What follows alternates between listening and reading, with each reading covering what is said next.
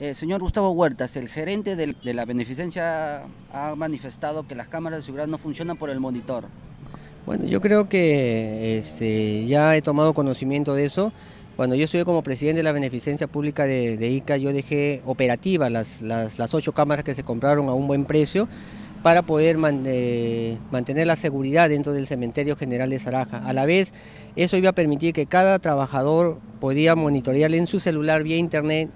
y a la vez que cada, eh, cada este, empleado de la, de la beneficencia pública en su computadora iba a poder también tener acceso a poder también verificar, en todo caso visualizar las instalaciones del cementerio general de Zaraja y tener mayor seguridad. Eso de ahí tampoco no se ha hecho, no se ha continuado con la seguridad y lo que corresponde que no hay monitor, dejamos nosotros una, una, computadora para poder monitorear eh, lo que venía sucediendo dentro de la, eh, del cementerio general de Zaraja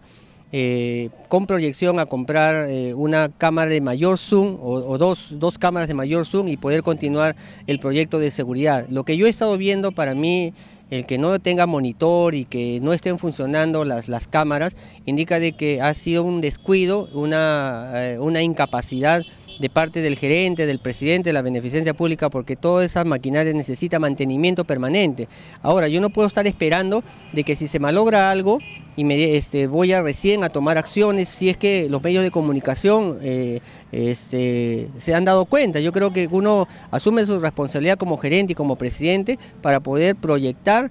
qué es lo que va a suceder en una institución y qué es lo que está eh, pasando para poder hacer los correctivos y sobre todo el mantenimiento de esos, equipos. Lo que demuestra para mí, lo que nuevamente vuelvo a repetir, que el señor este, Narciso Vaca para mí es un sinvergüenza y una persona incapaz. Igual también es el presidente de la, de la Beneficencia Pública, el señor William Vázquez Ruiz, que eh, ni lo conocen en el Cementerio General de Zaraja y más para en otras situaciones eh, de, que no corresponden a un funcionario de una, de una institución que tiene que ver por las personas vulnerables. Y si no tiene mantenimiento, ha sido una incapacidad y una dejadez de, quienes están dirigiendo la institución benéfica. Imagínate que ni siquiera han implementado